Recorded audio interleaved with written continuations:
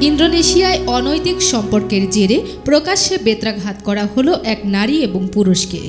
দেশটির প্রথম সারির গণমাধ্যম কর্তৃক জানা যায়, বিয়ের আগেই অনৈতিক সম্পর্কে লিপ্ত হয়ে পড়েছিল ওই দুইজন। পরে তা জানতে পেরে এমন শাস্তি দিয়েছে প্রশাসন। সে সময়ে প্রকাশ্যে বেত্রাঘাত করা হয় ওই রমণী এবং ওই পুরুষকে। চলমান ওই পরিস্থিতি সাধারণ জনগণেরা চেয়ার পেতে বসে থেকে উপভোগ করে। এ প্রসঙ্গে কর্তৃপক্ষ জানিয়েছেন, ধর্মীয় অনুশাসন মেনেই এমন শাস্তি দেওয়ার সিদ্ধান্ত গ্রহণ করা হয়েছে। ভবিষ্যতে আবারও যারা এমন ধরনের কাজে লিপ্ত হবে, তাদের জন্য এমন শাস্তি দেওয়ার ঘোষণা দিয়েছেন কর্তৃপক্ষ। প্রকাশ্যে এমন শাস্তি দেয়া ভবিষ্যতে এ ধরনের অপরাধীদের অনেকটাই দূরে রাখবে বলে জানিয়েছেন কর্তৃপক্ষ। ইতিমধ্যেই ইন্দোনেশিয়ার এই ঘটনাটি সামাজিক যোগাযোগ মাধ্যমে ভাইরাল হয়েছে।